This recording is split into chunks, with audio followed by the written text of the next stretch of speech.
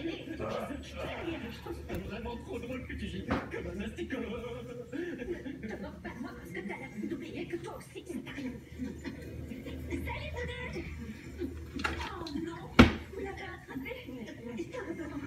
Ne dites pas à Game Over que je ne vous avais rien dit, hein